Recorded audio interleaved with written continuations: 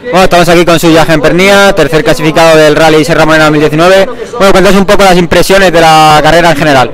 Bueno, en general la conclusión ha sido buena, ¿no? Hemos conseguido un tercer puesto y sumamos además un punto del TC Plus. Y creo que es bueno para el campeonato. A final de año todos estos puntos suman.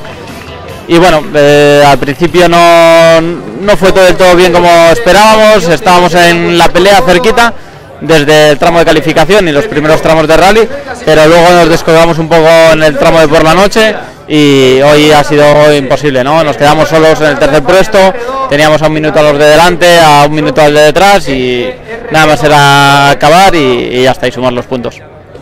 Hemos visto a muchos pilotos con problemas, salidas, pinchazos, ¿te ha parecido un rally complicado eh, así en general?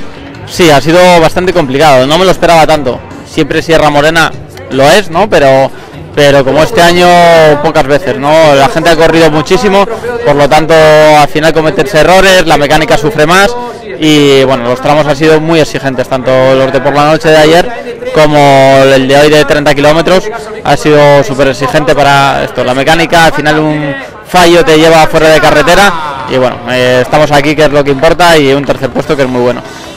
felicidades, esperamos seguir viéndote en siguientes carreras.